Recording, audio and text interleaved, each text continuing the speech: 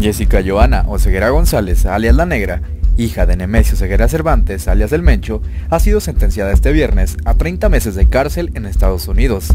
La sentencia la ha impuesto la jueza Beryl Howell después de que la mujer aceptara su culpabilidad de delitos de manejo de operaciones financieras relacionadas con el cártel Jalisco Nueva Generación. El historial criminal casi limpio de la negra y las evidencias de arrepentimiento fueron factor clave para la corta condena que se le ha dictado a la mujer. En la audiencia, se dio lectura de los delitos admitidos por Oseguera González, quien fue detenida en febrero del año pasado en Washington, Estados Unidos. Según la acusación, la hija del Mencho está implicada en operaciones financieras para lavar dinero del cártel que dirige su padre. El fiscal, Brett Reynolds, ha señalado que la negra, es cómplice de los altos niveles de violencia del cártel Jalisco Nueva Generación. Pese a ello, él y otros fiscales de Estados Unidos pidieron que la sentencia contra Jessica Johanna fuera de 51 meses de cárcel.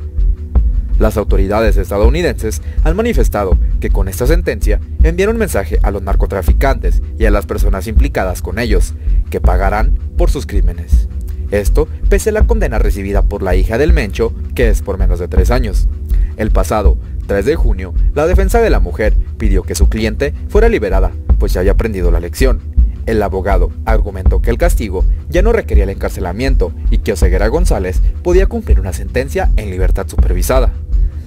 El día de su captura, Oseguera González, quien también tiene la nacionalidad estadounidense, se encontraba en Washington porque trataba de ver a su hermano, Rubén Oseguera, alias el Menchito, quien fue extraditado al país norteamericano por los delitos de narcotráfico. En el mismo momento que el Menchito se declaraba no culpable ante un juez federal, su hermana era esposada por su participación en seis entidades empresariales señaladas en 2017 por la Oficina de Control de Activos Extranjeros por apoyar y permanecer bajo control del CJNG.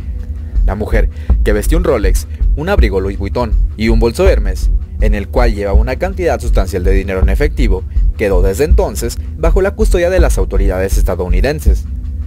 La sentencia ocurre un día después de que otra mexicana se declarara culpable de narcotráfico. Emma Coronel, esposa de Joaquín El Chapo Guzmán, firmó este jueves su declaración de culpabilidad por los delitos de narcotráfico, lavado de dinero y del manejo de empresas relacionadas con el cártel de Sinaloa.